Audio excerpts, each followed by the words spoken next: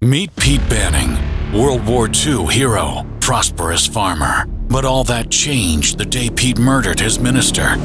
Why did he do it? The Reckoning. Unexpected. Unforgettable. Grisham.